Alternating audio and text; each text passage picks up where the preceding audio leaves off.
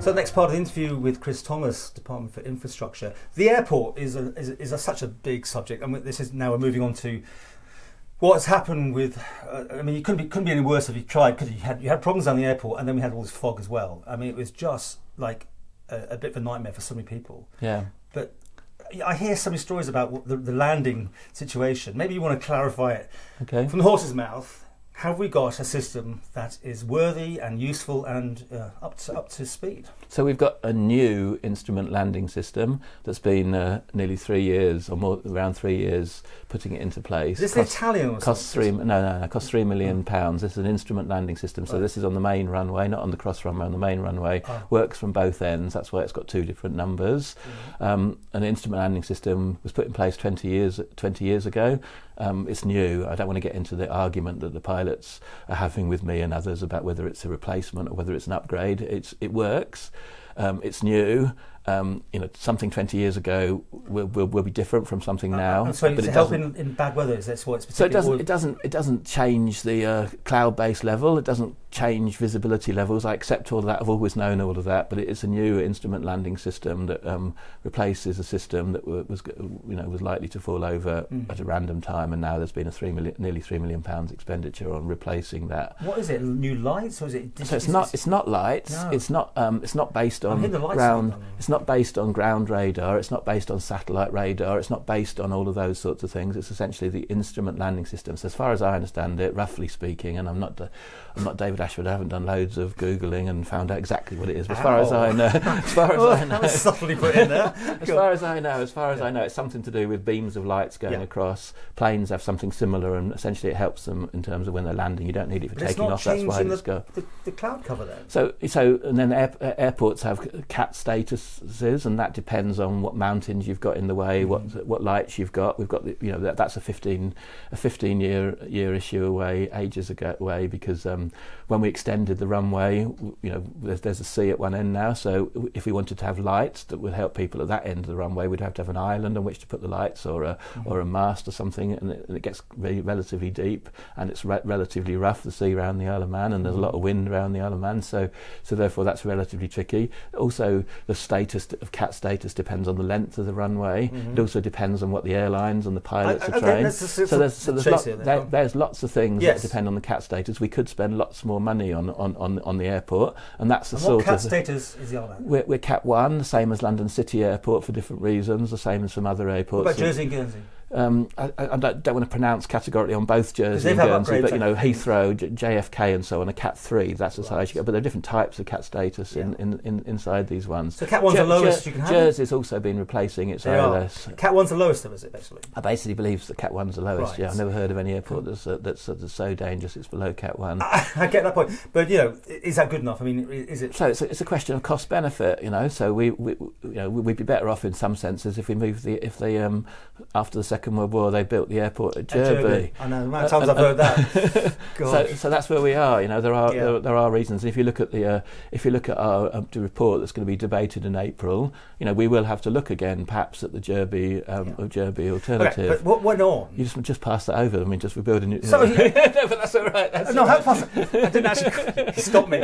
You're going to move to Jurby. We're not, we're not, but that's one of the things. That's one of the things that's considered as a long-term option, you know, because uh, when you're planning Well, an that would airport, cost a lot of money, That would? Cost a lot of money. And you'll so would through. so would improving the cat status, and that's why I enjoy the discussion with the pilots because I've been in, I've, I've had them in. But what went rooms. on was that mm, obviously we, So- you had an upgrade going on. The weather was rubbish, Yeah, and it all went, you know, belly up. Yeah. I'm going to I'm going to mention an, another uh, civil servant's name. I know this is probably very improper, but I'm sure he's big enough for it. You know, I think A.D. Cowan has had his Michael Fish moment and all of that. You know, because this wasn't randomly chosen March. There was a meteorological report. Ah. And although the public don't want to believe it, in actual fact, once the sea gets a bit uh, warmer, there's quite a lot of likelihood in, in some of the summer months of more fo- Ah, fog. So there was a there was a meteorological report. It's not the only factor. There are other factors, as the Yes. chief minister made clear, to do with you know, what was patterns of travel, TT, and all of that. But essentially, March was chosen, and then March wasn't a typical March because we had that very cold weather, the three days of snow, which then affected us for a long time. The airlines have been involved in this for 18 months, I understand. Um, the public was massively disrupted. Huge apologies to them. Okay, we have an apology. I, am always, I, you know, 17% of flights were either cancelled or delayed oh, wait, in, in, in, in, March. You know, wow. 17, 17% of flights. I think it might be um, 10%, 10% were cancelled, 7% yeah. were delayed. That's deeply unfortunate, but uh, poor old, poor old Adi Cowan was deeply unlucky. What about something? He's retiring soon. I'm, you know, oh, ne- you never know. You never know. It might be. His, he might give. He might be remembered for his Michael Fish moment in the March thing. Wow. um, this I was mentioning about Italian system. I mean, this is another thing so that that's I, radar. I hear. Leonardo yeah, but okay, but I hear it from people. You know, and, and let's clear it up.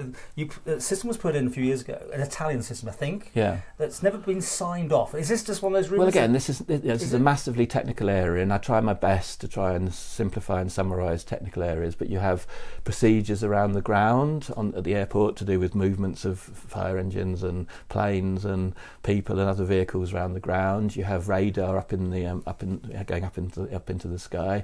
You also and that part, one of our radars definitely is Italian. It's definitely got Leonardo in its name. Has and it been it, signed off? And it didn't. It didn't. You know, that whole program process didn't go quite as well it as didn't, planned. Or it did get signed off. Please, yes or no? Well, did it, it, it, I'm sure it works in parts. No, no, no. I'm sure. I'm did sure it get signed off? Because that's what I keep hearing. The other one's still running because this one can't. Yeah, be I think that's the case. I think I think that's I think that's the case. So we've got a new system that they paid for before your time mm-hmm. that was so there's so never signed off. But uh, I'm not one to look back. I'm into fixing problems. Yeah, I'm, I'm here to ask questions. You answer what we can, and Yeah, I'll pass but- it. It's not your fault on this thing, and it's not your fault that they're So, so we have issues. We have issues in terms of moving and pe- people around the airport. We have issues like we already discussed in terms of lower visibility Yeah. and getting airports in. It's, they can all be fixed with more money being spent, and so Okay, therefore that's okay, why okay, that's please, that's, please, that's where we are. So we have a system that is it, not signed off. We have the original system, which is presumably coming near to its end of its life because the other system was bought to replace the it's, original it's, system. it's more. It's more than that. You know, inside the air traffic control tower,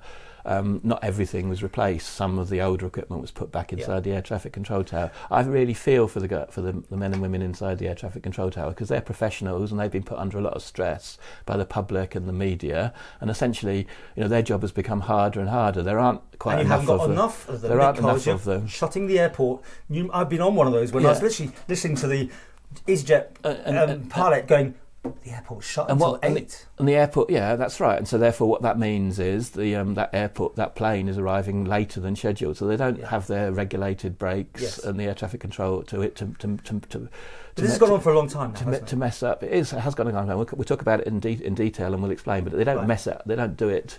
They don't choose those regulated timings, those regulated rates to to upset the Manx public, the travelling public more generally.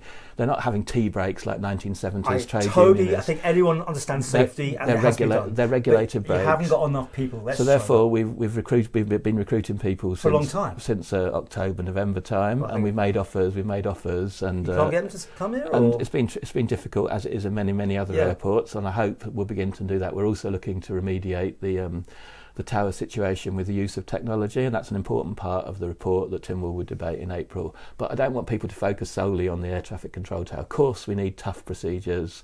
You know, because it's, a, it's an unsafe environment potentially with planes Right, landing on right. vehicles.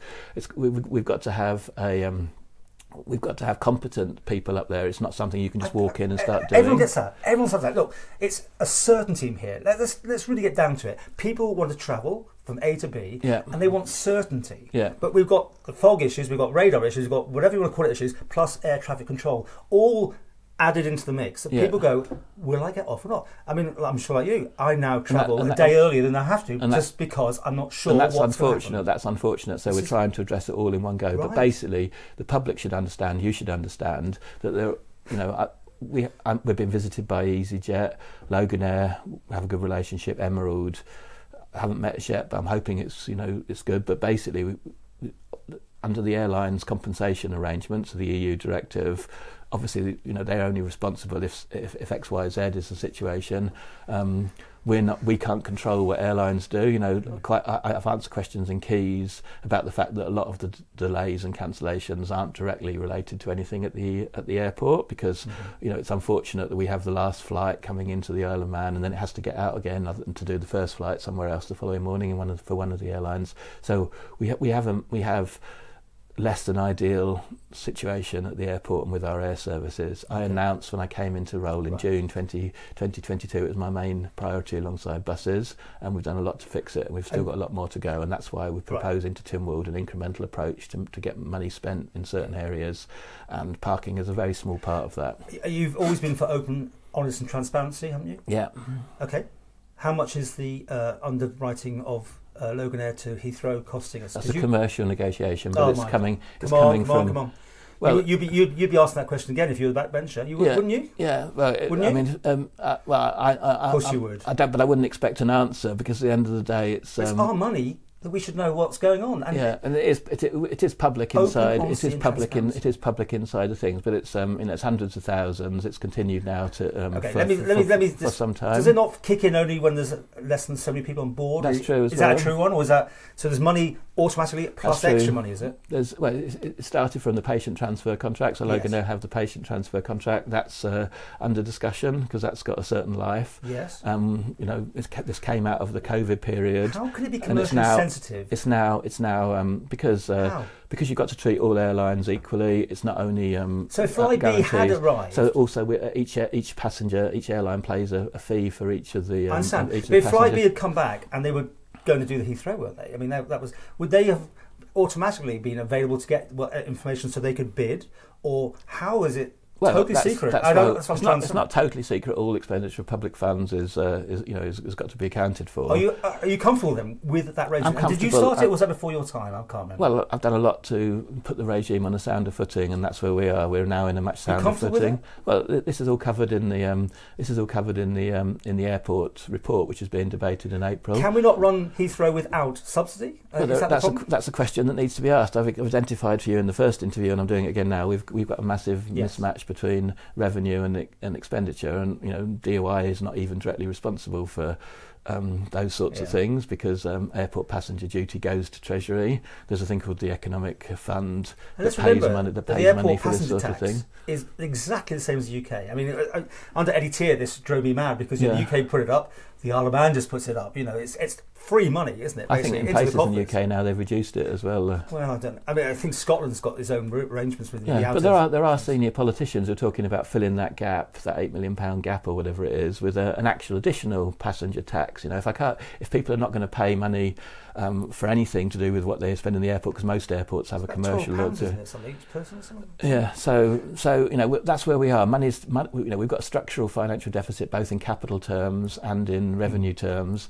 The airport's one of the parts of DOI that has a subvention, and we've got lots of capital projects which are all laid out, hinted Okay. at, and there'll be loads more debate. But what I think I want you to end this with Yeah. is I think you know and I know, and I want to make sure that politicians know and the public agree that um, that the airport has to be a priority because getting on and off our island is absolutely fundamental. And my last bit, and you'll probably know exactly where I'm going. This is the the feeling when you arrive, and that awful passenger arrival hall with no hardly any chairs left in there, Yeah. and and the toilets. I, I, I check them almost every time now just to see what state we got, Yeah. and the wait of 20 minutes to get your luggage, and nothing to look at, nothing that's Yeah. actually full of Shouldn't it, showing welcome to the Isle of Man and Well, welcome here. We were delighted to receive um, £15,000 from the DFE Visit Isle of Man to buy our new trolleys. yeah, And we've They don't invited. fit or something. Do they, is Well, that true? Because they're so old, the ones that they were replacing, they don't actually make the uh, make the uh, So- containers for. They don't make the same size trolley anymore. So, So- that's all being adjusted. Oh, well, that's being adjusted, and we, you know, delighted to work with Visit Isle of Man and DFE Yeah.